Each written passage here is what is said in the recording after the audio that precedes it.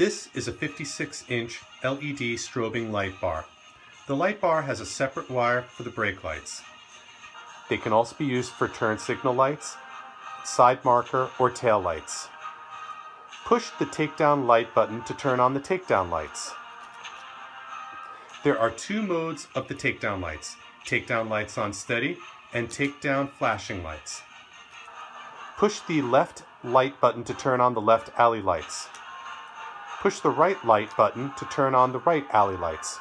There are two modes of the alley lights, alley lights on steady and alley lights flashing. Push the traffic advisor button. There are four flashing directions, left, right, two sides out, two sides in. There are 39 flashing patterns.